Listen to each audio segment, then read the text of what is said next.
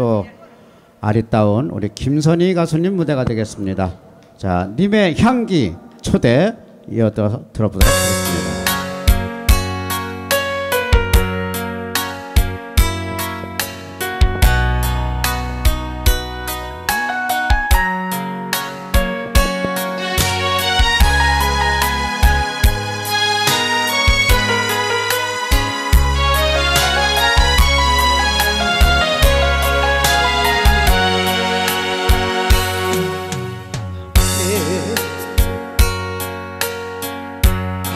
사람 잡을